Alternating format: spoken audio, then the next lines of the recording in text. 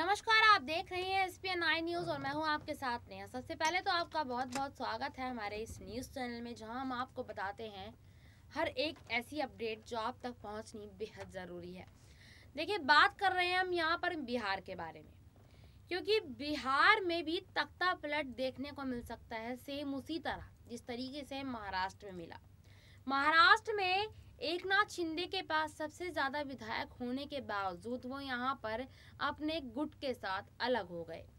उसी तरह बिहार में देखने की अटकलें लगाई जा रही हैं, क्योंकि यहाँ पर आपको बता दें कि नीतीश कुमार मुख्यमंत्री बन तो गए हैं, लेकिन यहाँ उप मुख्यमंत्री बने तेजस्वी यादव के पास नीतीश कुमार से ज़्यादा विधायक है।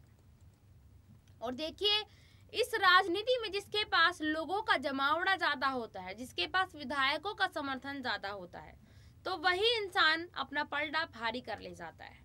हम आपको ऐसा इसलिए कह रहे हैं क्योंकि जिस तरीके से महाराष्ट्र में शिवसेना मामले को लेकर सुप्रीम कोर्ट भी कहीं ना कहीं इस मामले से इतनी ज़्यादा परेशान हो गई है कि उनका कहना भी यही है, जिसके पास विधायकों का समर्थन ज़्यादा है, शिवसेना उसकी है। इस तरीके की अटकलें लगाई जा रही हैं। अटकलों का बाज़ार गर्म हो रहा है। तो यहाँ पर भी यही अब बातें सामने आ रही हैं कि नीतीश कुमार ने सात बार पहले मुख्यमंत्री बनकर आकर बिहार का क्या ही कर लिया। अब आठवीं बार भी मुख्यमंत्री बन गए तो बिहार में कौन सा बदलाव देखने को मिल जाएगा?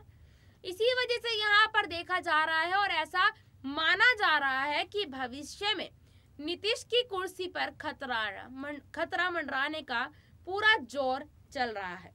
अब यहाँ पर यह देखना होगा कि अगर नीतीश कुमार अपनी कुर्सी को छोड़ते हैं तो क्या वो कुर्सी अपने भतीजे तेजस्वी यादव को देने के लिए पूरी तैयारी करेंगे या फिर कोई तीसरा चेहरा यहाँ पर आएगा?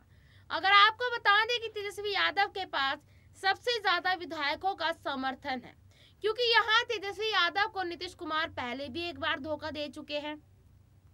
तो तेजस्वी यादव ने यहाँ पहले ही कमांड टाइट कर ली है कि दोबारा अगर ऐसा धोखे की बात आती है तो विधायक तो उनके पास ज़्यादा है। और इसी वजह से तेजस्वी यादव ने इस बार कहीं ना कहीं अपनी कमांड टाइट कर कर वो चल रहे हैं। अब देखिए, अब ये आने वाला समय बताएगा कि आखिरकार अगर नीतीश की कुर्सी पर खतरा मंडराता है, अगर बिहार में कोई बदलाव नहीं होता है, विकास की बात नहीं होती है वहाँ जो बेरोजगारी है, उस उस मुद्दे को नहीं अगर उठाया जाता है तो क्या? तेजस्वी यादव मुख्यमंत्री बनते हैं। ऐसी तमाम खबरों के लिए देखते रहिएगा S P N nine news धन्यवाद।